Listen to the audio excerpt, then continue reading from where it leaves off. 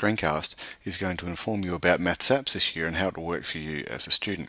In the past you would have turned up to a class, you would have sat in groups or in rows and you would have had the teacher give you a whole lot of information and you would have had a textbook and you would have written down some notes and you would have done some homework and you would have come back the next day.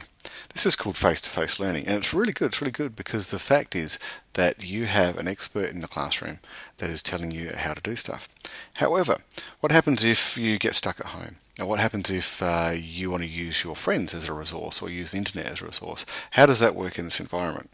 Well, in maths, what we're going to do is we're going to use the internet to be able to provide different learning opportunities for you so you can progress at your own pace and that you can actually gain a really good full understanding of the work that we do. The first thing that you do is all our concepts and all the main key things that you need to know for exams and tests and folios are all on YouTube. So the whole course has been screencasted for you so you can watch any bit at any time. And that is your job. You, you will be asked to actually do that at home time.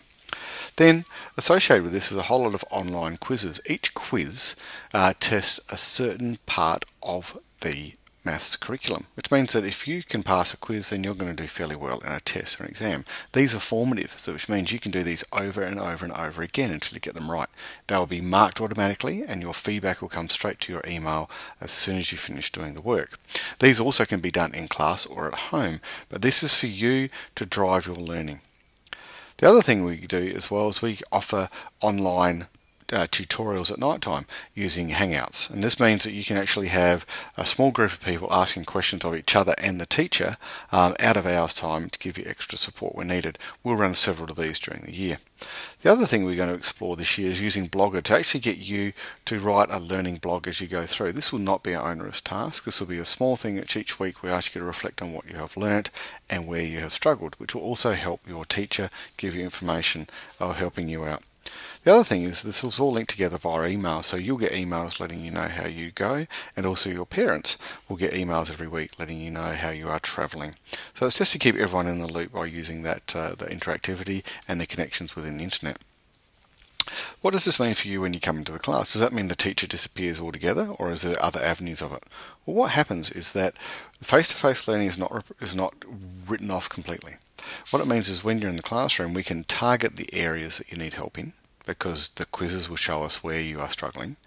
We'll be able to set up discussion groups so you can help each other and you can work in learning teams to actually improve your learning.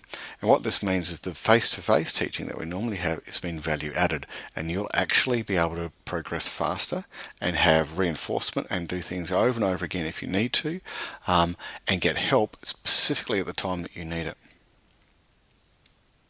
So for you, it means that you have the opportunity to progress at your own rate, fill up the holes that you need to fill, um, reinforce the things that you struggle with, as well as being uh, having your individual kind of curriculum delivered to you uh, via your computer. But once again, in all these things, um, when you progress through the years of school, the ball is in your court which means that you actually have to take ownership for the learning that you are doing. Uh, all the resources are there, your teacher is there to provide information and input for you, but you're the one that actually has to take uh, advantage of it and go to the best of your ability. So in class, you'll be actually have chance to ask questions, do group work, and partake in tutorials which are targeted at different things. At home time, you'll be doing quizzes, screencasts, and blogging. So you see the two kind of blend together so that the whole learning environment is uh, quite fluid and hopefully will meet the needs of every student. So instead of just a face-to-face -face classroom, we now have a classroom which is full of students participating in learning in groups.